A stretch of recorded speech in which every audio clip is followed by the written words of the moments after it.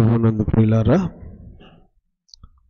దేవునికి స్తోత్రములు చెల్లిస్తున్నాం. ఈ రాత్రి మనందరం కూడా ఆయన సన్నిధిలో ఆయన వాక్యమును వినడానికి ప్రభు మన పట్ల చూపినటువంటి కృప కొరకై ప్రభువుని స్థుతిస్తున్నాం రెండు ప్రకటనలు గమనించండి. మన సహోదరుడు శైలస్ బ్రదర్ యొక్క అత్తమ్మ విక్టోరియమ్మ గారికి ఈరోజు కంటి ఆపరేషన్ చేశారు తిరుపతిలో. దేవుని కృప వలన ఆపరేషన్ మంచిగా జరిగింది. ప్రభువుని స్థుతిస్తున్నాం. ప్రార్థించిన సంఘం అంతటి కూడా కుటుంబ పక్షంగా వందనాలు తెలియచేస్తూ ఉన్నాం. రెండవది సత్యనారాయణపురం నుండి మన దగ్గరికి సుగుణమ్మ గారని ఒక సహోదరి వచ్చేది వారి కుమార్తెలతో పాటు. వారి కుమార్తెల్లో మెర్సీ అనే సోదరికి అనారోగ్యంగా ఉన్నందువల్ల గుంటూరు హాస్పిటల్కి తీసుకుని వెళ్ళారు. హార్ట్లో బ్లడ్ మరలా రివర్స్ వస్తుందట. అందువల్ల ఇక్కడ రిమ్స్ హాస్పిటల్కి తీసుకెళ్తే గుంటూరు తీసుకుని వెళ్ళమని చెప్పారు. సోదరిని గుంటూరు తీసుకుని వెళ్ళారు. దయచేసి ఆ సహోదరి కొరకు కూడా మీ ప్రార్థనలో జ్ఞాపకం చేసుకోవాలని మనం చేస్తున్నాం. దేవుని వాక్యాన్ని మనం ఈ రాత్రి ధ్యానం చేద్దాం. నిర్గమకాండం మొదటి అధ్యాయం. నిర్గమకాండం మొదటి అధ్యాయం. మనం గత వారంలో మనం ప్రారంభం చేసాం యోసేపు ఐగుప్తు దేశంలో ఉన్నప్పుడు ఐగుప్తు దేశానికి అధికారిగా ఉన్నప్పుడు యాకోబు తన యొక్క డెబ్బై మంది సంతానంతో పాటు ఐగుప్తు దేశానికి వెళ్ళాడు. పన్నెండు మంది కుమారులు వారి యొక్క వివరాలు వారి పేర్లు వాటి యొక్క అర్థాలు గత వారం మనం జ్ఞాపకం చేసుకున్నాం. వారందరూ కూడా ఐగుప్తు దేశంలో బహుగా విస్తరించారు అనే మాట మనం చదివాం.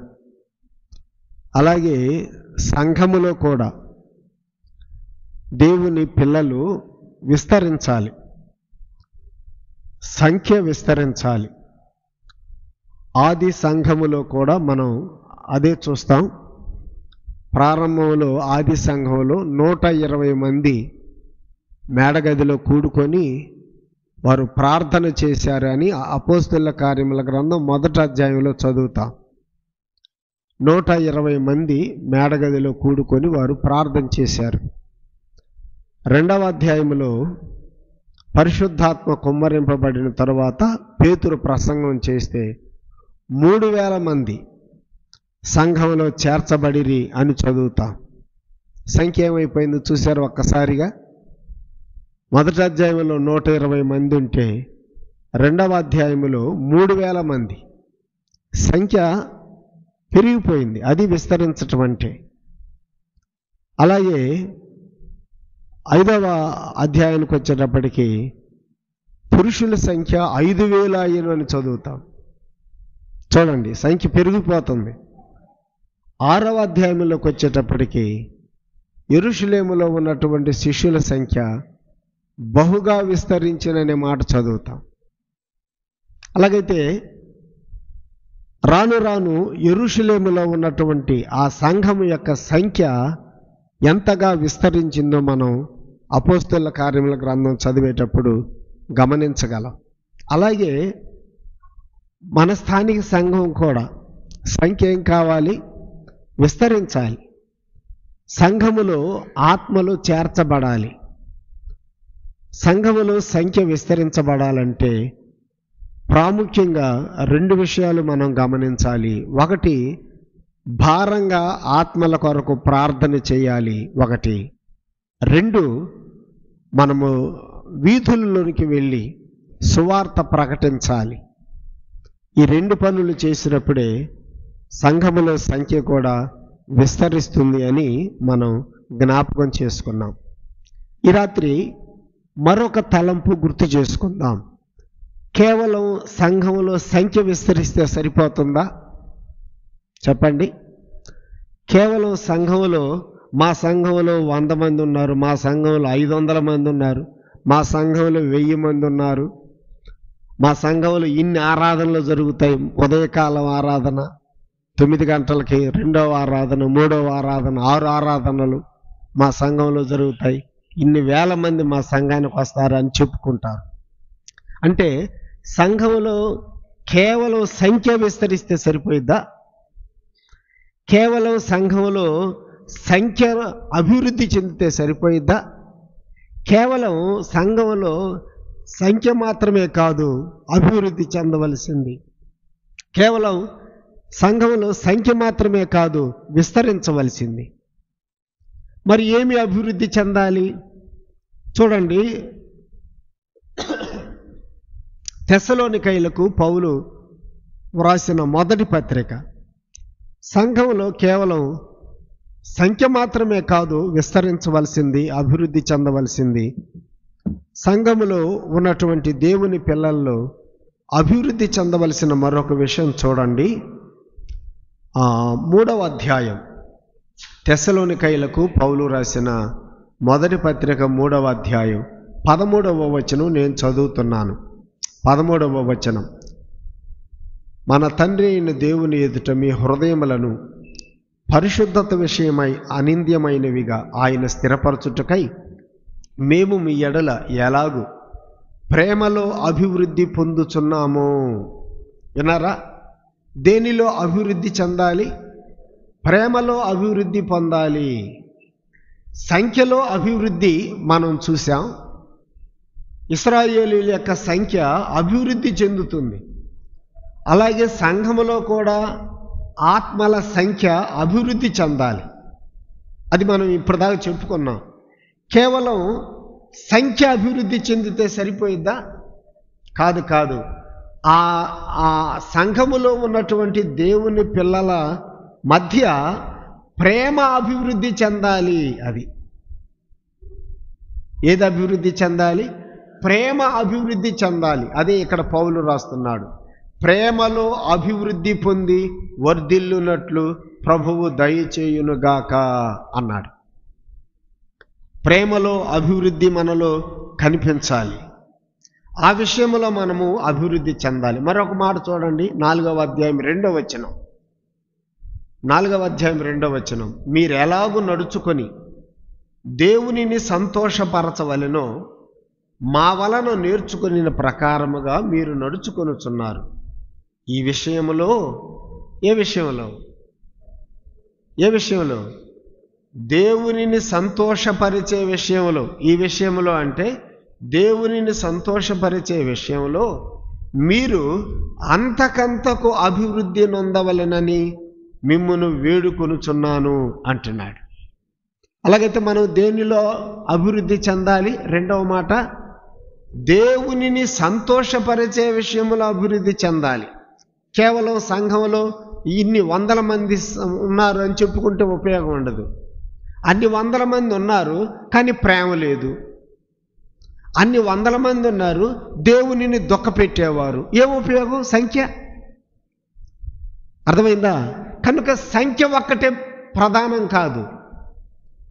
ఆ సంఖ్యలో ఉండవలసినటువంటి ఆత్మ సంబంధమైన లక్షణాలు ప్రాముఖ్యం. ప్రేమలో అభివృద్ధి చెందాలి. దేవునిని సంతోషపరచడంలో అభివృద్ధి చెందాలి. కొరిందులకు రాసిన రెండవ పత్రిక. కొరిందులకు రాసిన రెండవ పత్రిక. ఎనిమిదవ అధ్యాయం చూడండి. ఎనిమిదవ అధ్యాయం ఏడవ వచనం. ఎనిమిదవ అధ్యాయం ఏడవ వచనం. మీరు ప్రతి విషయములో అనగా విశ్వాసమందు ఉపదేశమందు జ్ఞానమందు సమస్త జాగ్రత్త యందు మీకు మా ఎడల ఉన్న ప్రేమ యందు ఎలాగూ అభివృద్ధి పొందుచున్నారు అన్నాడు. ఇక్కడ ఐదు విషయాలు చదువుతున్నాం. ఒకటి విశ్వాసం రెండు ఉపదేశం మూడు జ్ఞానం నాలుగు జాగ్రత్త ఐదు ప్రేమ. వీటిలో ఏమవ్వాలట? మీకు మా ఎడల ఉన్న ప్రేమ యందు ఎలాగూ అభివృద్ధి పొందుచున్నారు?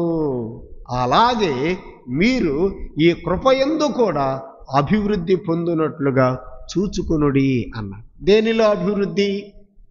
విశ్వాసం. జ్ఞానం ఉపదేశం ఉపదేశం అంటే దేవుని వాక్యం. సహోదరులారా సహోదరిలారా సంఖ్యలో అభివృద్ధి మనం చూడ చూస్తున్నాం.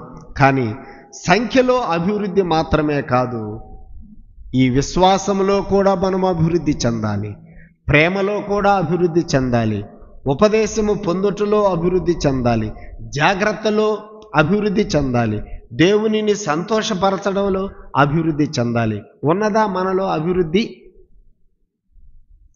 పౌలు అంటాడు తిమోతికి రాస్తూ ఏమన్నాడు? నీ అభివృద్ధి అందరికీ తేటగా కనపడాలి అంటాడు. నీలో ఉన్నటువంటి అభివృద్ధి అందరికీ ఎలా కనపడాలి? తేటగా కనపడాలి. మనలో అభివృద్ధి కనపడాలి. సంఖ్యలో అభివృద్ధి కనపడాలి. సంఖ్యలో మాత్రమే కాదు లక్షణాలలో కూడా అభివృద్ధి కనపడాలి. ఒకటి. రెండో మాట ఏం చెప్పుకున్నాం? ఇస్రాయేలీలు సంఖ్యలో అభివృద్ధి చెందారు. రెండో మాట ఏముంది? సంఖ్యలో వారేమయ్యారు? విస్తరించిరి అనే మాట. కేవలం సంఖ్యలో విస్తరిస్తే సరిపోతుందా? పేతురు రాసిన రెండవ పత్రిక. పేతురు రాసిన రెండవ పత్రిక. మనము దేనిలో విస్తరించాలో మాట చదువుకుందాం. మొదటి అధ్యాయం. పేతురు రాసిన రెండవ పత్రిక మొదటి అధ్యాయం. ఐదు ఆరు ఏడు ఎనిమిది వచనాలు చూడండి. ఐదు వచనం చదువుతున్నాను.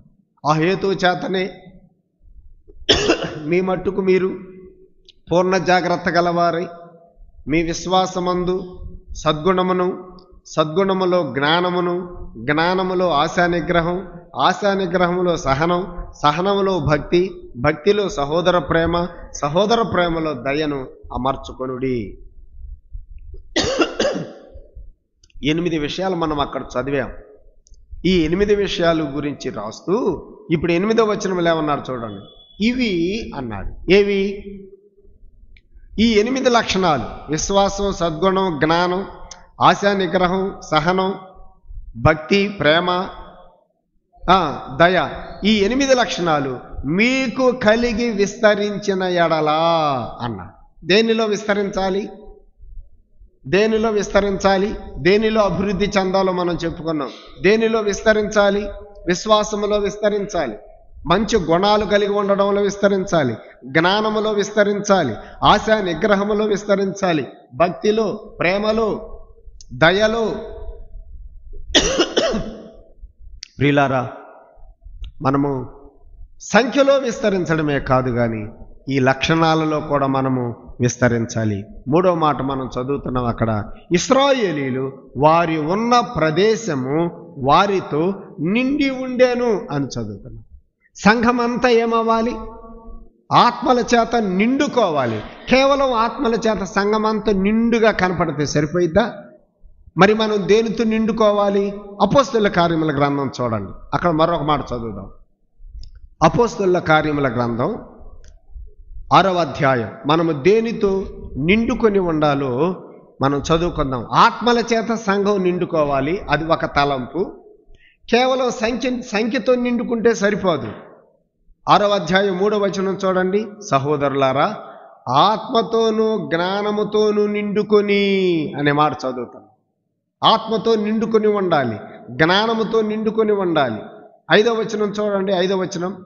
ఈ మాట జనసమూహం అంతటికి ఇష్టమైనందున వారు విశ్వాసముతోనూ పరిశుద్ధాత్మతోనూ నిండుకొనిన వాడైన స్టెఫను అని మాట చదువుతున్నాం దేనితో నిండుకున్నాడు స్టెఫను? విశ్వాసముతో పరిశుద్ధాత్మతో. అలాగైతే ప్రియులారా ఆత్మల చేత సంఘము నిండుకోవడమే కాదు మనము విశ్వాసములో కూడా నిండుకోవాలి. పరిశుద్ధాత్మ చేత నిండుకోవాలి. జ్ఞానము చేత నిండుకోవాలి. ఇలాంటి అనుభవాలు మన జీవితాలలో మనం కలిగి ఉండాలి. సంఖ్య మాత్రమే కాదు అభివృద్ధి చెందవలసింది. సంఖ్య మాత్రమే కాదు విస్తరించవలసింది. సంఖ్య మాత్రమే కాదు నిండుకొని ఉండవలసింది. లక్షణాలలో అభివృద్ధి చెందాలి. ఆత్మ సంబంధమైన లక్షణాల చేత విస్తరించాలి. ఆత్మ సంబంధమైన లక్షణాలలో మనము నిండుకొని ఉండాలి. ఈ అనుభవం మనలో రావాలి. కేవలం సంఖ్య ప్రధానం కాదు కానీ సంఖ్య కంటే ముఖ్యంగా ఈ లక్షణాలలో మనము అభివృద్ధి చెందే వారంగా ఉండాలి. చూడండి ఇస్రాయేలీలందరూ కూడా డెబ్భై మంది వెళ్ళారు ఐగుప్తు దేశానికి కానీ ఇప్పుడు వారి సంఖ్య బహుగా అభివృద్ధి చెందింది బహుగా విస్తరించారు. వారున్న ప్రదేశము వారి చేత నిండుకొని ఉన్నారు. ఇలాంటి సమయంలో ఏం జరిగిందో చదువుదాం. ఎనిమిదవ వచనం. నిర్గమకాండం మొదటి అధ్యాయం ఎనిమిదవ వచనం. అప్పుడు యోసేపును ఎరుగని క్రొత్త రాజు ఐగుప్తును ఏలనారంభించెను. యోసేపు కాలంలో ఉన్న ఐగుప్తు రాజు మంచివాడా చెడ్డవాడా? యోసేపు ఉన్న కాలంలో ఐగుప్తు రాజు ఆయన చాలా మంచివాడు కదా? ఆ- యోసేపు యొక్క అన్నలను తీసుకొని రమ్మన్నాడు తండ్రిని తీసుకొని రమ్మన్నాడు. వారికి ఒక మంచి స్థలం గోషేను ఆ ప్రదేశాన్ని కూడా వారికి ఇచ్చాడు. వారిని పోషించమని చెప్పాడు. మంచివాడు. అయితే ఆ తరములో ఉన్న వారందరూ ఏమైపోయారు? చనిపోయారు. ఇప్పుడు ఇంకొక రాజు వచ్చాడు. ఈ రాజుకి యోసేపు తెలుసా? ఇప్పుడు వచ్చిన రాజుకి అదే మనం ఎనిమిదవ వచనంలో చదువుతున్నాం. యోసేపును ఎరుగని కొరత్త రాజు ఐగుప్తును ఏలనారంభించను. అలాగైతే ఇప్పుడు వచ్చినటువంటి ఈ రాజుకి ఆ యోసేపుకి అసలు సంబంధమే లేదు. ఇప్పుడు వచ్చిన ఐగుప్తు రాజుకి ఆనాడు ఉన్నటువంటి యోసేపుకి సంబంధం లేదు. అట్లాగే మనకి అపవాదికి కూడా ఏముండకూడదు? సంబంధం ఉండకూడదు. యోసేపుకి ఐగుప్తు రాజుకి క్రొత్త రాజుకి ఎలాగో వారిద్దరికి అసలు సంబంధమే లేదు. ఒకరికొకరికి తెలియదు అసలు కదా. అలాగే నీవు నేను కూడా అపవాదితో సంబంధం లేకుండా జీవించాలి. ఒక ప్రశ్న అడుగుతున్నా. నీకు అపవాదికి మంచి డీలింగ్స్ ఉన్నాయా లేవా? ఉండాలా ఉండకూడదా? ఉండకూడదు అదే మనం ఇక్కడ నేర్చుకునేది. యోసేపుకి ఐగుప్తు రాజుకి వారిద్దరికి అసలు సంబంధాలు లేదు. ఒకళ్ళంటే ఒకళ్ళకి తెలియదు. నీవు నేను అపవాదితో మనకు కూడా అట్లా ఉండాలి సంబంధం.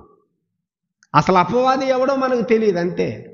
అపవాదికి మనకు అసలు సంబంధమే ఉండకూడదు. కొరింతలకు రాసిన రెండవ పత్రికలో పౌలు రాస్తాడు కదా ఏమన్నాడు?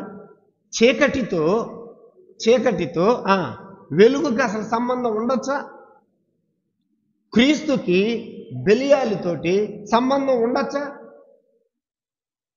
దేవాలయానికి విగ్రహాలతో సంబంధం ఉండొచ్చా? అలాగే విశ్వాసికి కూడా అవిశ్వాసితో సంబంధం ఉండకూడదు. అలాగే విశ్వాసితోటి అపవాదితోటి సంబంధం ఉండకూడదు. మరి నీకెట్లుందో అపవాదితో సంబంధం? సంబంధం ఉందో లేదో? మనలో ఉన్నటువంటి చెడ్డ లక్షణం ఏంటంటే మనుషులతో సంబంధాలు ఉండవు మనకి. మన ఇంట్లో వాళ్ళకి మన ఇంట్లో వాళ్ళకి సంబంధాలు ఉండవు. సైతానుతో మాత్రం మంచి అటాచ్మెంట్ ఉంటుంది. ఇంట్లో వాళ్ళు ఇంట్లో వాళ్ళు బలుకోరు అంటే ఇంట్లో వాళ్ళకి ఇంట్లో వాళ్ళకి ఏముండవు? సంబంధాలు ఉండవు. కానీ సంబంధాలు మనకి ఎవరితో ఉంటే బాగా? సైతాన్ చెప్పినట్టు మాత్రం బ్రహ్మాండంగా వింటాం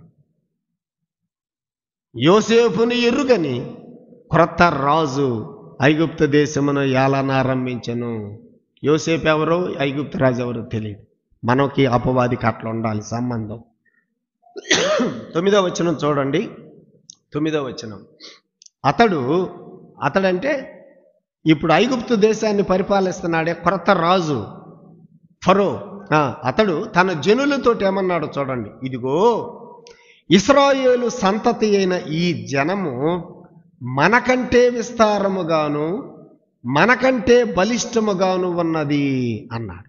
ఇస్రాయేలు జనాంగమును చూసి ఐగుప్తు రాజు ఏమైపోయాడు? ఆశ్చర్యపోయాడు. ఏంటి వీళ్ళు ఇంత విస్తారంగా ఉన్నారు? వీళ్ళేంటి ఇంత బలిష్టంగా ఉన్నారు? అని వారిని చూసి ఆశ్చర్యపోయి తన జనులతో అంటున్నాడు ఇదిగో చూడండి ఈ ఇస్రాయేలు యొక్క జనాంగము మన దగ్గరకు వచ్చేటప్పుడు ఎంత తక్కువగా వచ్చారు? డెబ్భై మందిగా వచ్చారు. కానీ ఇప్పుడు చూస్తే ఎట్లా ఉన్నారు వాళ్ళు? బహుగా విస్తరించి ఉన్నారు. వారు బలిష్టముగా ఉన్నారని చెబుతున్నాడు మరి మన గురించి కూడా ఏం చెప్పాలి? మన గురించి కూడా ఏం చెప్పాలి? అపో అదేం చెప్పాలి? అమ్మో చూడు ఈ హెబ్రోన్ సంఘంలో ఉన్న వాళ్ళు ఎంత విస్తరించున్నారు వీళ్ళు చూడు ఎంత బలిష్టంగా ఉన్నారని అపవాది కూడా మనల్ని చూసి ఆశ్చర్యపోవాలి.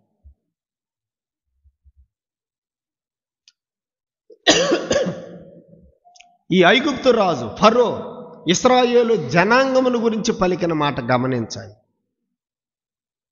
ఈ జనము ఈ జనము మనకంటే విస్తారముగా మనకంటే బలిష్టముగా ఉన్నారు. ప్రిలారా దేవుని పిల్లలమైన మనం ఎలా ఉండాలి? బలిష్టంగా ఉండాలి. బలిష్టముగా ఉండాలి బలముగా ఉండాలి. దేవుడు అబ్రహాముతో చెప్పిన మాట ఒకటి జ్ఞాపకం చేస్తాను. ఆది కాండం చూడండి ఆది కాండం. పద్దెనిమిదవ అధ్యాయం పద్దెనిమిదవ వచనం. అబ్రహాము నీ సంతతిని నేను బలము కలిగిన జనముగా చేస్తాను అన్నాడు. అది ఆ మాట ఇప్పుడు మనం ఇక్కడ నెరవేర్చబడటం గమనిస్తున్నాం. ఆది కాండం పద్దెనిమిదవ అధ్యాయం. ఆది కాండం పద్దెనిమిదవ అధ్యాయం. పద్దెనిమిదవ వచ్చిన చూడండి. అబ్రహాము నిశ్చయముగా బలము గల గొప్ప జనమగును. ఏ జనం? బలమైన జనమవుతాడు అబ్రహాం అని దేవుడు చెప్పాడు. మరి ఇప్పుడు ఐగుప్తు రాజు కూడా ఏమంటున్నాడు? ఈ జనము ఆ, బలిష్టముగా ఉన్నది అని చెబుతాడు సహోదరుడా సహోదరి ఆయన పిల్లలమైనటువంటి మనము బలము కలిగినటువంటి జనముగా ఉండాలి. బలిష్టమైనటువంటి జనముగా మనము ఉండాలి. ఇసాకు కరువు వచ్చినప్పుడు ఫిలిస్తీన్ల దేశానికి వెళ్తాడు. అప్పుడు ఫిలిస్తీన్ల దేశాన్ని పరిపాలన చేస్తున్న రాజు ఎవరంటే అభిమేలకు అభిమేలకు కూడా ఈ ఇసాకు యొక్క సంతతిని చూసి ఆశ్చర్యపోయి ఇస్సాకు దగ్గరికి వచ్చి ఏమన్నాడు చూడండి. ఆదికాండం ఇరవై ఆరవ అధ్యాయం. ఆదికాండం ఇరవై ఆరవ అధ్యాయం. పదహారు వచనం చదువుకుందాం. పదహారు వచనం. అబీమెలకు ఇస్సాకుతో అంటున్న మాట నీవు మాకంటే బహుబలము గలవాడవు. ఏమన్నాడు అబీమెలకు నీవు మాకంటే బహుబలము గలవాడవు. అయ్యా దయచేసి నువ్వు ఎక్కడి నుంచి వెళ్ళిపో. నీ బలం ముందు మేము చాలం.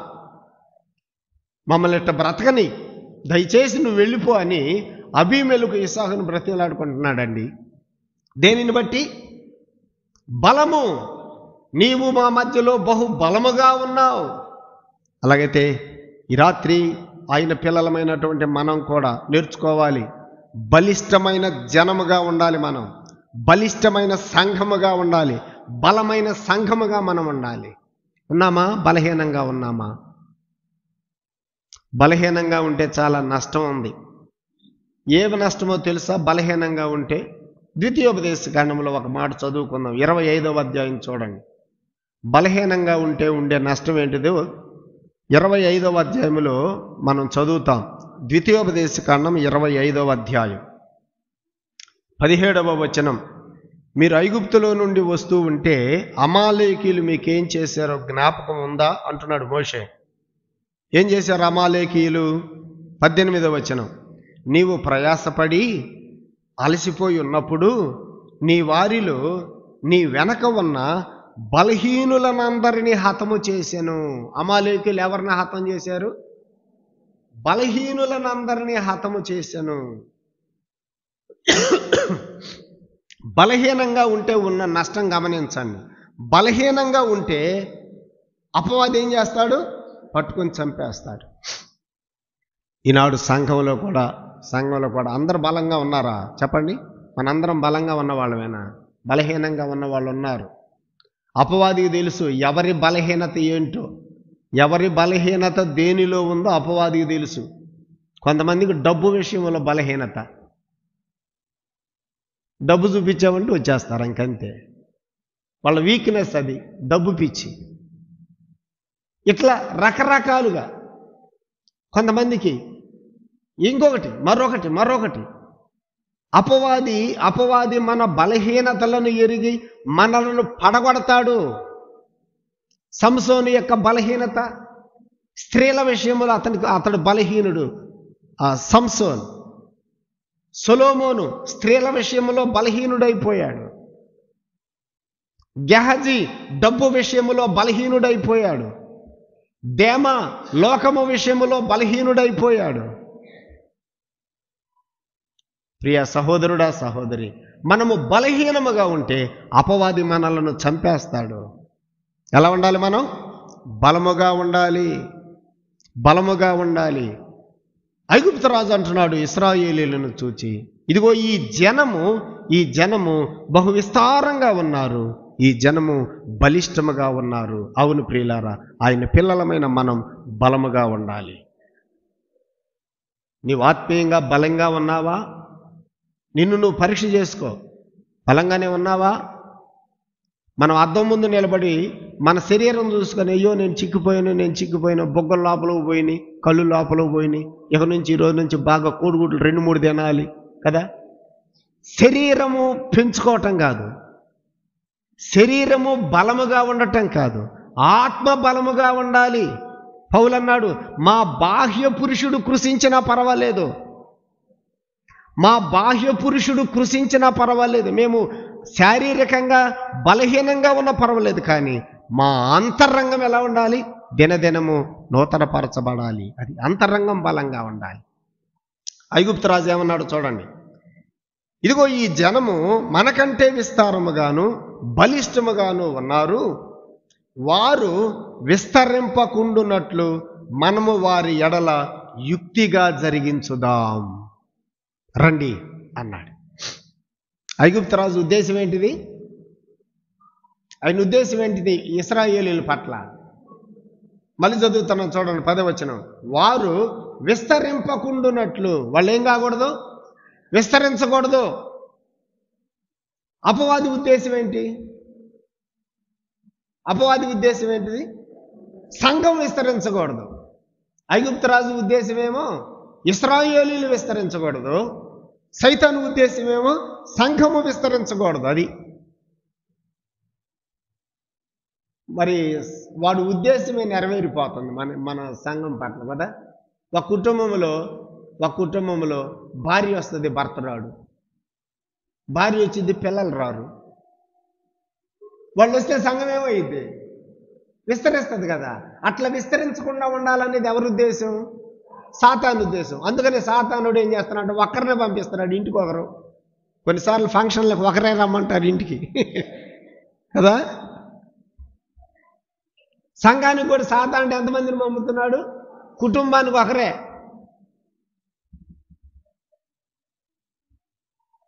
సంఘము విస్తరించడం అపవాదికి ఇష్టం లేదు.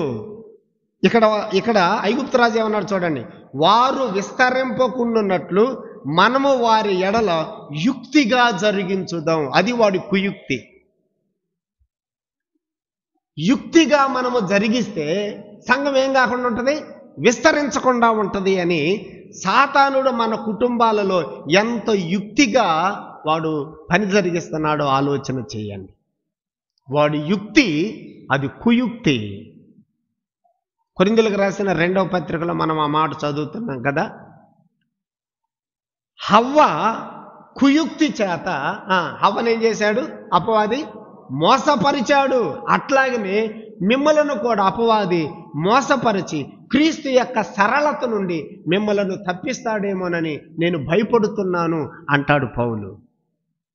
కుయుక్తి చేత హవ్వను ఏం చేశాడు? ఏదైనా తోటలో మోసం చేశాడు.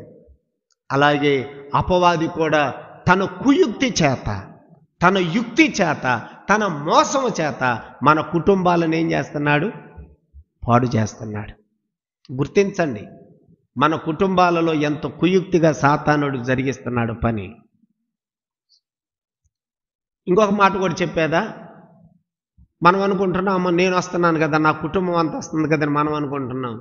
మన ఎడలో కూడా వాడు ఎంతో యుక్తిగా పనిచేస్తున్నాడు. బైబిల్ చదవనీయుడు మందిరానికి పోతే పోయావు గంట సేపు కూర్చొని వాక్యం ఏంటి అన్నావులే ఇంటికి వచ్చి మాత్రం నువ్వేం చేయకూడదు మళ్ళీ? బైబిల్ తీయకూడదు. కదా? ప్రార్థన చేసుకొనియుడు దేవుని యొక్క సన్నిధికి కదా? ఆనందింపనీయుడు. మన ఎడలో కూడా వాడు ఏం చేస్తున్నాడు? కుయుక్తిగా పని చేస్తున్నాడు అపవాది యొక్క యుక్తిని గమనించండి. ఐగుప్తు రాజు ఏమన్నాడు? వారు విస్తరింపకుండున్నట్లు వారి ఎడల మనము కుయుక్తిగా యుక్తిగా జరిగిద్దాం. అపవాది యొక్క తంత్రములను ఎరగండి. సహోదరుడా సహోదరి దేవుని వాక్యం చదువుకోండి. చదవనీయకుండా చేసేది అపవాది యొక్క యుక్తి. ప్రార్థన చేసుకోండి. ప్రార్థన చెయ్యనీయకుండా అపవాది యుక్తి. ఇంకేమన్నాడో చూడండి పదే వచనం. వారు విస్తరింపకుండానట్లు మనము వారి ఎడలు యుక్తిగా జరిగించుదమ? రండి. లేని ఎడల మనం గనక వాళ్ళని ఆ, విస్తరింపకుండా చేయకపోతే ఏం చేస్తారు వాళ్ళు? యుద్ధము కలుగునప్పుడు కూడా మన శత్రువులతో చేరి మనకు విరోధముగా యుద్ధం చేసి ఈ దేశములో నుంచి వెళ్ళిపోతారేమో. ఐగుప్తరాజు ఉద్దేశం గమనిస్తున్నారా? ఒకటి ఏమన్నాడు ఈ వచనంలో? విస్తరింపకూడదు ఒకటి. రెండవది వాడి ఉద్దేశం ఏంటిది? ఇస్రాయేలీలు ఈ దేశములో నుండి వెళ్ళిపోవుదురేమో అంటే వాడు వెళ్ళకూడదు ఈ దేశంలో నుంచి. ఈ దేశంలో నుంచి వాళ్ళు వెళ్ళకూడదు. ఇస్రాయేలీలు ఈ దేశంలోనే ఉండాలి నా ఆధీనంలోనే ఉండాలి నా చేతుల కిందే ఉండాలి వాళ్ళు నేను చెప్పిన పనులే చేస్తా ఉండాలి వాళ్ళు ఈ దేశం వదిలిపెట్టి వాళ్ళు వెళ్ళిపోతే మన మన దేశంలో పనులు ఎవరు చేస్తారు? కాబట్టి ఇస్రాయేలీలు ఈ దేశంలోనే ఉండాలి నా ఆధీనంలోనే ఉండాలి. ఎవరి ఉద్దేశం ఇది? అపవాది ఉద్దేశం కూడా ఇదే. ఈ కుటుంబము నా చేతుల్లోనే ఉండాలి. నా చేతులు దాటి వీళ్ళు హెబ్రోన్ సంఘానికి వెళ్ళకూడదు. యేసు ప్రభు దగ్గరికి వీళ్ళు వెళ్ళిపోకూడదు. అపవాది ఉద్దేశం అది. చూడండి ఇప్పుడు అపవాది ఎంతమందిని మన ఇళ్ళలో పట్టేశాడు? అవునా కాదా? ఈ దేశము ఈ దేశములో నుండి వారు వెళ్ళిపోతారేమో వెళ్ళకూడదు. నన్ను వదిలిపెట్టి యేసు ప్రభు దగ్గరికి వెళ్ళిపోతారేమో వెళ్ళకూడదు అనేది అపవాది ఉద్దేశం. అందుకనే చూడండి మన కుటుంబాలలో చాలామంది యేసు ప్రభు దగ్గరికి రావటం లేదంటే అపవాది వారిని వెళ్ళనీయకుండా ఏం చేస్తున్నాడు? పట్టుకుంటున్నాడు. ఇది మనం అపవాది యొక్క కుయుక్తిని మనము ఎరిగి జాగ్రత్త పడాలి.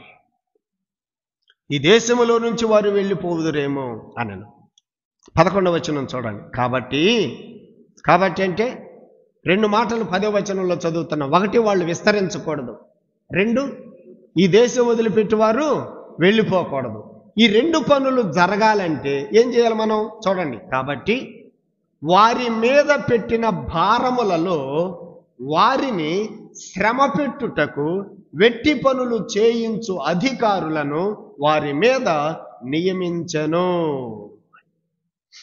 ఈ రెండు పనులు చేయాలి. ఒకటి విస్తరించకూడదు రెండు దేశం వదిలిపెట్టి వెళ్ళిపోకూడదు. ఈ రెండు పనులు చేయాలంటే ఏం చేయాలి? వాళ్ళ మీద మనము భారము పెట్టాలి వాళ్ళని శ్రమలు పెట్టాలి.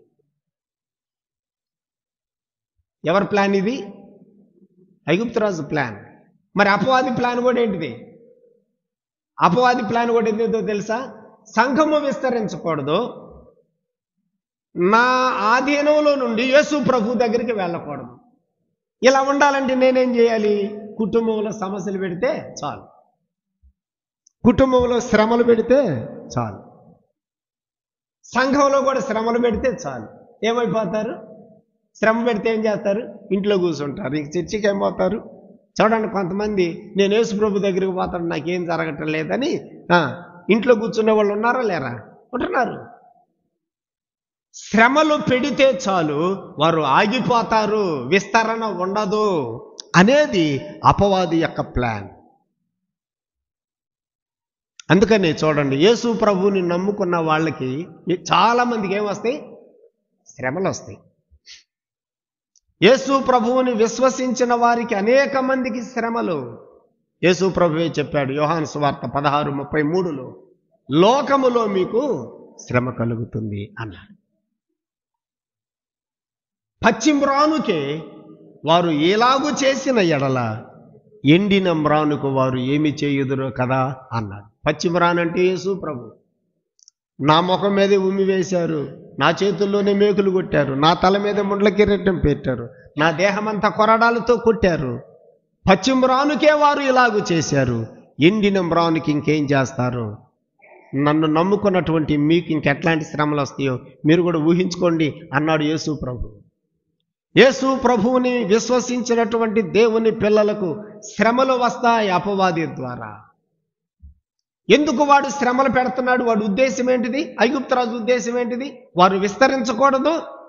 రెండవది వారు ఈ దేశము వదిలిపెట్టి వెళ్ళిపోకూడదు. అందుకని వారి మీద శ్రమల పాలు చేయాలి అన్నాడు ఐగుప్తరాజు అట్లాగనే ప్రియులారా దేవుని పిల్లలమైనటువంటి మనం కూడా విస్తరించకుండా అపవాది చేతుల్లో నుంచి ప్రభు దగ్గరికి రాకుండా ఉండటానికి సాతానుడు చేసిన ప్లాన్ ఏంటంటే శ్రమలు పెడుతున్నాడు. మతైసు వార్త పదమూడవ అధ్యాయం. చూడండి ఒక మాట. మతైసు వార్త పదమూడవ అధ్యాయం. యేసు ప్రభు విత్తనాలు చల్లేటువంటి విషయాన్ని ఒక ఉపమానంలో చెప్పాడు కదా. కొన్ని విత్తనాలు ఎక్కడ పడ్డాయని చెప్పాడు? త్రోవ ప్రక్కన పడ్డాయి. మరికొన్ని విత్తనాలు ఎక్కడ పడ్డాయని చెప్పాడు? మన్ను లేని రాతి నేల మీద పడ్డాయి అని చెప్పాడు. రెండవ రకం. మన్ను లేని రాతి నేల దేనితో పోల్చాడు యేసు ప్రభు? ఇప్పుడు చదువుదాం. పదమూడవ అధ్యాయం. పదమూడవ అధ్యాయం ఇరవై ఇరవై వచ్చిన పదమూడు ఇరవై చూడండి.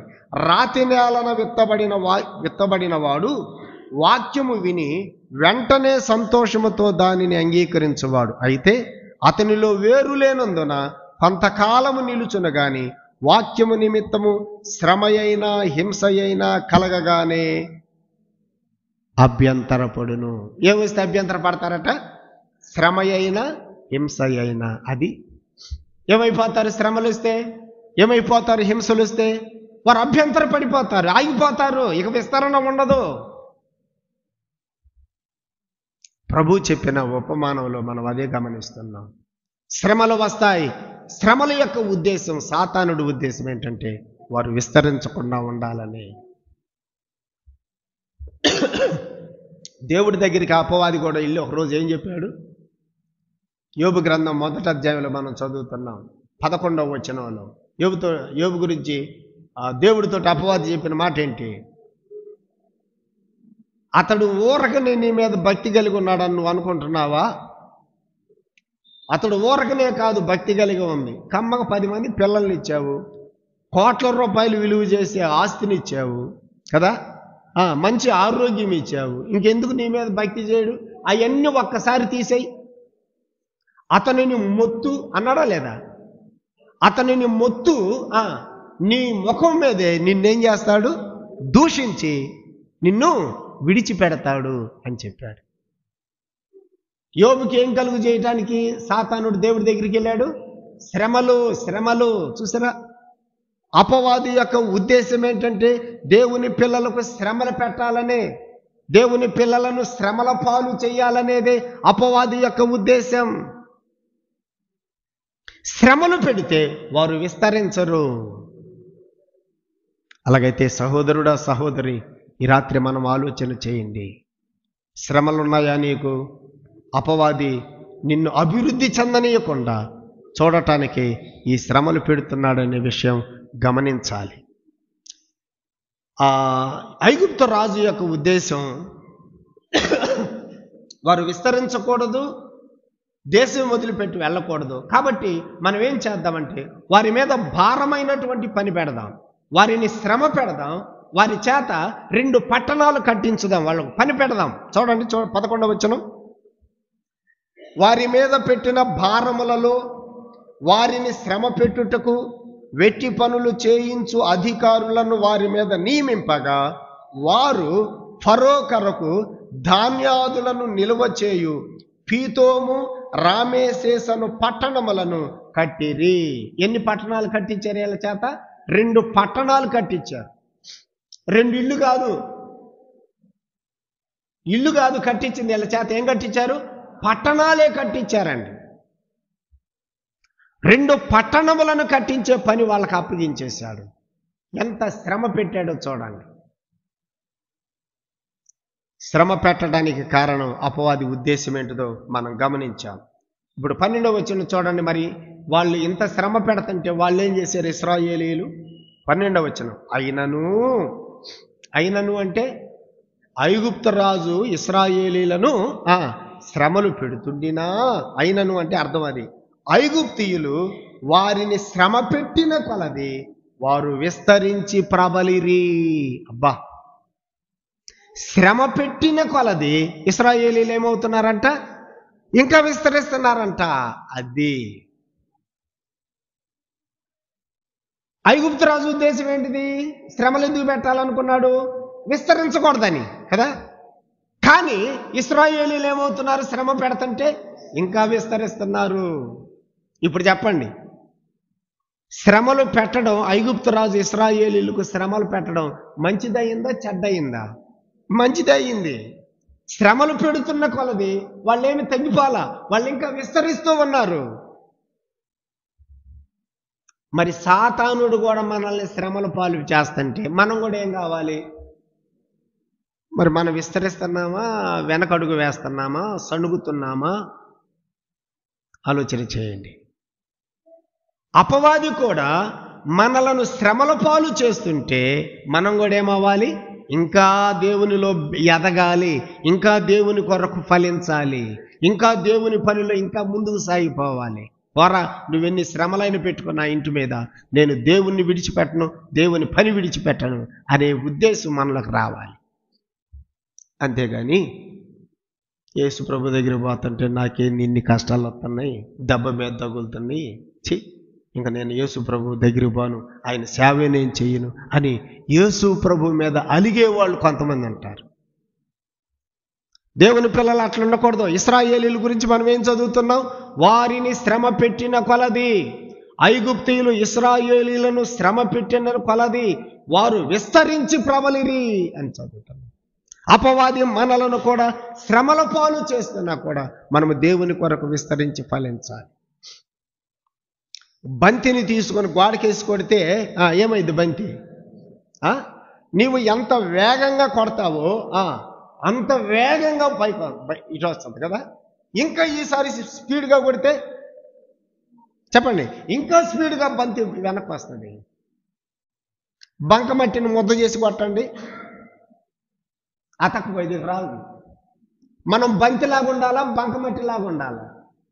ఇప్పుడు చెప్పండి శ్రమలు పెట్టే కొలది కదా బంతిని గోడకేసి కొట్టే కొలది బంతి ఏమవుతుంది? ఇంకా రివర్సల్ అంత వేగంగా వస్తుంది. విశ్వాసి కూడా అట్టు ఉండాలి సాతానుడు మనలను శ్రమను పెట్టిన కొలది మనం దేవుని కొరకు ఇంకా ఎదగాలి.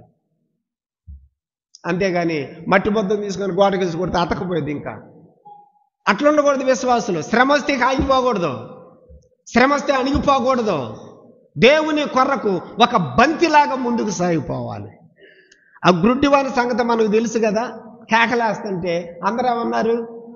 అరే ఊరుకోరా అరవబాకరా అరవబాకరా అన్నాడు. వాడు ఏం చేశాడు? మరి ఎక్కువగా కేకలేసాను అది. అట్లా ఉండాలి మనం కూడా. ఇంకా ఎక్కువగా దేవుని పనిలో మనము ముందుకి సాగిపోవాలి. యోసేపుకి కష్టాలు వచ్చినాయా రాలేదా? అయిపోయాడా అయిపోయాడా యోసేపుకి కష్టాలు వచ్చిన కొలది. ఆయన ఇంకా ఏమయ్యాడు విశ్వాసంలో? అభివృద్ధి చెందాడు ప్రబలాడు. చివరికి ఐగుప్తు దేశానికే అధికారి అయ్యాడు అది. శ్రమలలో కూడా విస్తరించాలి భక్తులు. శ్రమలలో కూడా అభివృద్ధి చెందాలి భక్తులు. శ్రమలలో కూడా దేవునికి మహిమ తెచ్చే వారంగా ఉండాలి భక్తులు. యోసేపు అలా ఉన్నాడు. దావీదుకు శ్రమలు వచ్చినాయే? రాలేదా? సమూహలు మొదటి గ్రంథం చదివితే సౌలు తరవడమే తరవడం. ఎప్పుడన్నా ప్రభు మన మనశ్శాంతికి ఉన్నాడా? మేకాలను పెళ్ళి చేసుకుని కాపురం ఏమన్నా చేశాడా దావీదు? అరణ్యాలు పాలైపోయాడు. ఒకటే తరుగుతుండే ఈటు పట్టుకొని సవులు దేవుణ్ణి ఏమన్నా అన్నాడా? ఏమన్నా. దేవుని మీద సణిగాడా? లేదు లేదు. దావీదు జీవితంలో కూడా శ్రమలు వచ్చే కొలది. దావీదు కూడా దేవునిలో అభివృద్ధి చెందాడే కానీ అతడు ఆగిపోలేదు. చివరికి ఏమైపోయాడు పన్నెండు గోత్రాలను పరిపాలన చేసేటువంటి గొప్ప రాజయ్యాడండి. శ్రమలలో అభివృద్ధి చెందినారు భక్తులు. అట్లుండాలి దేవుని పిల్లలమైన మనం. శద్రకు మేషక బెద్రగోలుకు శ్రమలు వచ్చినాయా రాలేదా? దానియేలుకు శ్రమలు వచ్చినాయా రాలేదా? మరేమయ్యారు? శ్రమలు వస్తే ఆగిపోయారా? అగ్నిగుండంలో కాలిపోవడానికైనా మేము సిద్ధం. సింహముల గుహలో నేను సింహాలకు ఆహారంగా వెళ్ళడానికైనా నేను సిద్ధం అన్నాడు దానియాలు. నా భక్తిని మాత్రం నేను విడిచిపెట్టను. శ్రమలలో అభివృద్ధి చెందినటువంటి వారు భక్తులండి. ప్రియ సోదరుడా సోదరి ఇస్రాయేలీలు శ్రమ పెట్టిన కలది వారు ఇంకా విస్తరించి ప్రబలిరి అని మనం చదువుతున్నాం. అలాగే మనం కూడా శ్రమలలో ఏం కావాలి చెప్పండి? శ్రమలలో ఏం కావాలి మనం కూడా? విస్తరించాలి. కష్టాలలో విస్తరించాలి. మన భక్తి విస్తరించేదిగా ఉండాలని జ్ఞాపకం చేసుకుంటున్నాం. చూడండి. పన్నెండవ వచనం. అయినను ఐగుప్తీయులు వారిని శ్రమ పెట్టిన కొలది వారు విస్తరించి ప్రబలిరి గనుక వారు ఇస్రాయేలుల ఎడల అసహ్యపడిరి. ఐగుప్తీయులకి ఏం కలిగింది? ఇస్రాయేలీల మీద అసహ్యత ఏర్పడింది. ఎందుకు? వాళ్ళు అభివృద్ధి చెందుతుండేటప్పటికీ అసూయ ఏర్పడింది. అసూయలో అసహ్యత ఏర్పడింది. అభివృద్ధి చెందుతుంటే కొంతమందికి అసూయ. అసూయ అనేది అపవాది లక్షణం గుర్తుపెట్టుకోండి. అసూయ అనేది అపవాది లక్షణం. ఇక్కడ వాళ్ళు అసహ్యపడిరి అంటే వాళ్ళలో ముందు ఏమేర్పడింది ఇస్రాయేలీల మీద అసూయ ఏర్పడింది. చూడు వాళ్ళు అంత బలంగా ఉన్నారు మనమేమో తక్కువ మందిగా ఉన్నాం వాళ్ళు నిన్నగాక మొన్న వచ్చారు మన దేశంలోకి డెబ్బై మంది వచ్చారు. వాళ్ళు ఇప్పుడు చూడు ఎంత అయిపోయారు వాళ్ళు. ఒక విధమైనటువంటి అసూయ వారిలో ఏర్పడింది. తద్వారా అసహ్యించుకుంటున్నారు అసూయ అనేది మన జీవితాలలోనికి రాకూడదు ప్రియులారా. వారు ఇస్రాయేలీల ఎడల అసహ్యపడిరి. పదమూడవచనం చూడండి. ఇస్రాయేలీల చేత ఐగుప్తియులు కఠినముగా సేవ చేయించుకొనిరి. పద్నాలుగవ వచ్చిన వారు ఇస్రాయేలీల చేత చేయించుకొనిన ప్రతి పని కూడా కఠినముగా ఉండెను. వారు జగటమంటి పనిలోను ఇటుకల పనిలోను పొలములో చేయు ప్రతి పనిలోను కఠినమైన సేవ చేయించి వారి ప్రాణములను విసికించిరి కఠినము అనే పదం మూడుసార్లు ఇక్కడ చదువుతున్నాం. మూడు సార్లు వచ్చింది. కఠినం అనే పని పదం. ఇస్రాయేలీలు వారి చేత చేయించిన పని ఎలా ఉంది చెప్పండి? చాలా కఠినంగా ఉంది. ఎంత కఠినంగా ఉందంటే వారి ప్రాణములు విసిగిపోయాయి. అప్పుడప్పుడు కొంతమంది అంటారు కదా నాకు చావాలనిపిస్తుంది అంటారు కదా. ఎందుకు ఎందుకంటారు ఆ మాట? వాళ్ళ ప్రాణము విసిగిపోయిందనమాట చే సస్తే బాగుండు అని అంటారు కొంతమంది. ఇస్రాయేలీలను కూడా ఐగుప్తు రాజు అంతగా విసిగించాడు. వారి ప్రాణములను విసిగించాడు. అంతగా శ్రమ పెట్టాడు. అంత కఠినమైన శ్రమ పెట్టాడు. దేవుని పిల్లలు కూడా అంట అంటారు కొంతమంది ఇట్లాంటి మాటలు. అనేవాళ్ళు ఉన్నారా? సాతానుడు కూడా మన ప్రాణములు విసిగిపోయే అంతగా మనల్ని కఠినంగా ఇబ్బందులు పెడుతుంటే దేవుని పిల్లలు కూడా కొంతమంది ఏమంటారంటే చస్తే బాగుండు అంటారు. అనేవాళ్ళు ఉన్నారు లేరు దేవుని పిల్లలు కూడా. దేవుని పిల్లలు పొరపాటును కూడా ఆ మాట అనబాకండి. ఏమాట ఏమాట అనకూడదు? ఇంట్లో కొన్నిసార్లు మనకి కష్టాలు వచ్చినప్పుడు సస్తే బాగుండు సస్తే బాగుండు అంటారు. ఆ మాట అనకూడదు. నువ్వు సస్తే బాగుండ నీకుంది. నువ్వు సస్తే బాగుండటం ఆయనకు ఉండద్దు నువ్వు ఇంకా ఉండటం ఆయనకి ఇష్టమైతే నేను చస్తే బాగుండు నేను చస్తే బాగుండు. ప్రాణం విసిగినంత మాత్రాన ఆ మాట అనకూడదు. ఇస్రాయేలీల యొక్క ప్రాణము విసిగిపోయే అంత కఠినమైన సేవ వారి చేత ఐగుప్తు రాజు చేయించినా కూడా ఏమయ్యారాళ్ళు? ఇంకా ప్రబలిరి విస్తరించి ప్రబలిరి అని మనం చదువుతున్నాం. కాబట్టి ప్రియుల ప్రియులారా సహోదరుడా సహోదరి ఒకవేళ అపవాది కూడా నిన్ను అంతగా విసిగిస్తున్నాడా? నీ ప్రాణము విసిగిపోయేంత కఠినంగా నిన్ను శ్రమలు పెడుతున్నాడా? అనంత ఆ మాట సస్తే బాగుండు నేను ఈ బాధలు తట్టుకోలేకపోతున్నాను. దేవుడు నా ప్రాణం తీసుకుంటే బాగుండు. ఏలియా కూడా ఏం చేశాడు? ఎట్లాంటి ప్రార్థన చేశాడు ఏలియా కూడా? బదరే వృక్షం క్రిందకు పోయి యజబేలు చంపుతుందని భయపడిపోయి ఏమని ప్రార్థన చేశాడు. నా ప్రాణం తీసుకొయ్యా ఇంకా. ఆమె చేతిలో నేను చచ్చే బదులు నీ చేతిలో నేను చస్తాను నన్ను తీసుకో అన్నాడు. తీసుకున్నాడు దేవుడు. నువ్వు చేయాల్సిన చాలా ఉంటే ఏందప్పుడు నిన్ను నేను తీసుకునేది? అసలు నిన్ను ప్రాణం నీ ప్రాణం పోకుండానే నేను తీసుకోవాలనుకుంటున్నాను అన్నాడు దేవుడు కదా. ఏలియాని? ఏలియా కోరిక నెరవేరలా. కాబట్టి కొన్నిసార్లు మనం కూడా మన ప్రాణము విసిగిపోయి చస్తే బాగుండు అని నేను అనుకుంటాం. అట్లా అనబాకు. నువ్వింకా ఉండటం దేవుని చిత్తం. నువ్వు ఇంకా ఆయన పని చేయడం దేవుని చిత్తం. ఆయన కొరకు సాక్షిగా బ్రతకడం ఆయన చిత్తం అయితే నేను చస్తే బాగుండు చస్తే బాగుండు ఎందుకంటావు? ఆ శ్రమలను తట్టుకోవడానికి ఆ శ్రమలలో కూడా నువ్వు ఇంకా విస్తరించి ప్రబలడానికి ప్రభు సన్నిధికి వెళ్ళి ఆయన సహాయం కోరుకో. దేవునికి మొర్ర పెట్టుకో. దేవుడు నీ కష్టాలలో నుంచి నీ బాధల్లో నుంచి ఆయన విడిపిస్తాడు. అంతేగాని అట్లాంటి మాటలు మనం అనకూడదు. ప్రాణము విసిగిపోయే అంతగా ఇస్రాయేలీలను ఐగుప్తురాజు బాధ పెట్టాడు. కఠినమైన శ్రమలు పెట్టాడు. ప్రియ సహోదరుడ సహోదరి రాత్రి ఆయన పిల్లలమైనటువంటి మనకు కూడా అపవాది ద్వారా ఏమొస్తాయి? ఏమొస్తాయి? ఎంతగా వస్తాయి శ్రమలు? మన ప్రాణము విసిగిపోయి సస్తే బాగుండు అన్నంతగా వస్తాయి శ్రమలు. కానీ మనం ఆ మాట మాత్రం అనకూడదు. దేవుని సన్నిధిలో నమ్మకంగా మనం జీవించాలి. ఆ శ్రమలను భరిస్తూ ఆ శ్రమలను ఓర్చుకుంటూ ప్రభువు కొరకై మనం ఇంకా ఏమవ్వాలి? ఇంకా విస్తరించి అభివృద్ధి మనము చెందాలి. అలాంటి కృప ప్రభు మనకి అనుగ్రహించినట్లుగా ప్రార్థన చేద్దాం. ప్రార్థన చేద్దాం. దయచేసి తలలు వంచండి.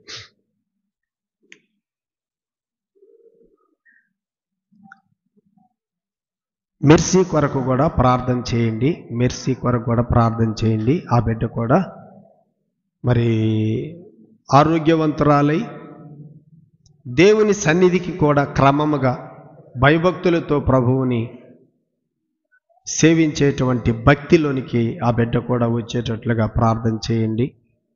అలాగే సహోదరి విక్టోరియమ్మ గారికి కూడా దేవుడు సంపూర్ణమైన స్వస్థత దయచేయనట్లుగా ప్రార్థన చేయండి. అందరు తలలు వంచండి ప్రార్థన చేద్దాం. పరిశుద్ధుడైన మా ప్రియ తండ్రి ఈ రాత్రి నిర్గమకాండం మొదట అధ్యాయంలో కొన్ని మాటలు మేము ధ్యానం చేసుకున్నాం. అపవాదికి మాకు అసలు సంబంధమే ఉండకుండా జీవించాలని మేము నేర్చుకుంటున్నాం. మేము ఇంకా విస్తరించి ప్రబలాలి. సంఖ్యలోనే కాదు ప్రభువ ఆత్మ సంబంధమైన లక్షణాలు కలిగి ఉండటంలో కూడా మేము అభివృద్ధి చెందాలి. ప్రేమలో విశ్వాసములో జ్ఞానములో ఉపదేశములు జాగ్రత్తలు అన్నింటిలో కూడా మేము అభివృద్ధి చెందాలి విస్తరించాలి. పరిశుద్ధాత్మ చేత మేము నిండుకొని ఉండాలి అని ఈ రాత్రి మేము నేర్చుకుంటున్నాం సంఘములో కూడా ఇంకా సంఖ్య విస్తరింప చేయండి నూతన ఆత్మలు సంఘములో చేర్చబడటానికి సహాయం చేయండి ప్రభువ. మేము బలిష్టముగా ఉండాలి బలహీనంగా ఉండకూడదు. మేము నీ కొరకు బలముగా బ్రతకడానికి సహాయం చేయండి. బలహీనంగా ఉంటే అమాలేకీయులు బలహీనులను ఎలాగూ చంపేశారో మేము కూడా ఆత్మీయంగా బలహీనంగా ఉంటే అపవాది మమ్మల్ని చంపుతాడని మేము నేర్చుకుంటున్నాం. ఆధ్యాత్మికంగా మమ్మలను బలవంతులనుగా చేయమని ప్రార్థన చేస్తున్నాం ప్రభువా. మేము విస్తరించకూడదని అపవాది చేతుల్లో నుండి మీ సన్నిధికి రాకూడదని అపవాది ఉద్దేశం. వాడి కుయుక్తి చేత మా కుటుంబాలను మోసగిస్తున్నాడు. మా కుటుంబాలను వాడు పాడు చేస్తున్నాడు. అందుకనే నాయన కొంతమంది భర్తలు మందిరానికి రావటం లేదు. కొంతమంది పిల్లలు రావడం లేదు. దేవా మీ సన్నిధిలో ప్రార్థన చేస్తున్నాం నాయన. అపవాది చేతుల్లో నుంచి వారిని విడిపించండి. అపవాది మాకు శ్రమలు పెట్టేవాడుగా ఉంటున్నాడు. మా ప్రాణములను విసిగిస్తున్నాడు వాడు. ఆ శ్రమలను మేము తట్టుకోలేనంతగా మమ్మల్ని కఠినముగా బాధ పెడుతున్నాడు. అయినా మేము శ్రమలో పెట్టిన కొలది మేము విస్తరించాలి అని నేర్చుకుంటున్నాం. యోసేపు వలె దావీదు వలె శ్రమలు పెట్టిన కొలది మేము నీ కొరకు మహిమకరముగా బ్రతకాలి. శద్రక మేషక అభ్యర్థనగోలు దానియేలు అట్లాగనే శ్రమలలో కూడా వారు ఫలించారు. అలాంటి కృప మాకు దయచేయమని ప్రార్థన చేస్తున్నాం. ఈ రాత్రి చేరివచ్చిన నీ బిడ్డలందరినీ కూడా మీరు దీవించండి. వాక్యము విన్నారు. ఎవరైతే శ్రమలలో ఉన్నారో ఎవరైతే కష్టాలలో ఉన్నారో బాధల్లో ఉన్నారో దేవా వారు కృంగిపోకుండా నిరాశ చెందకుండా నీ కొరకు ఇంకా విస్తరించడానికి అభివృద్ధి చెందడానికి మీ కృప వారి పట్ల దయచేయమని ప్రార్థన చేస్తున్నా. నీ నామ మహిమ కొరకే మేమందరం బ్రతకడానికి సహాయం చేయండి. సంఘమంతటిని దీవించమని మీకే మహిమ ఘనత ప్రభావాలు చెల్లిస్తూ మీ ప్రియమైన కుమారుడు మా రక్షకుడు యేసు ప్రభువు నామములో స్తోత్రములు చెల్లించి వేడుకొనుచున్నాము తండ్రి. ఆమెన్. ఆమెన్. అందరికీ వందనాలు. కూడిక ముగించబడని సెలవు తీసుకుందాం.